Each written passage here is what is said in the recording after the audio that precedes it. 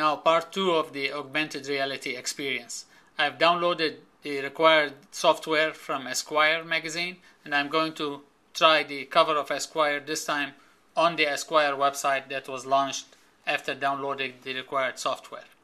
Let's see what happens. Ah! Booyah! In your face!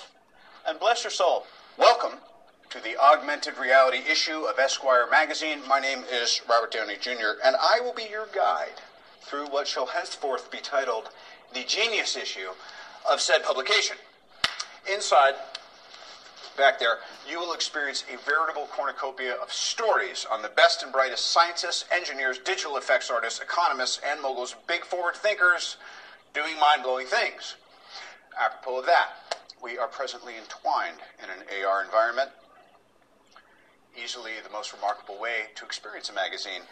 Rather than taking questions, and I know you have many, I shall now give you a real time tour in augmented reality fire in the hole. None of those words will be of any benefit. We're going to stockpile them for later use. At this point, I would suggest you try tilting or turning the magazine and see what excitement that affords you.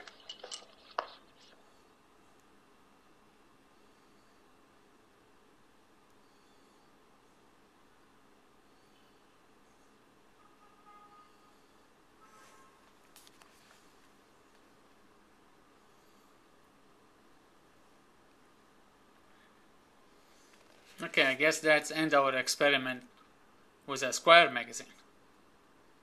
What do you think? Drop me a note or write a comment and see if that's what the future of magazine publishing is all about.